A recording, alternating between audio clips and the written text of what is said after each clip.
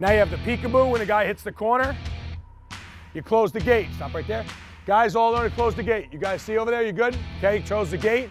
He's had a stick back. You take this fist, punch to his fist, right like that. So you as you're closing the gate, you're turning them and boom, throwing a check.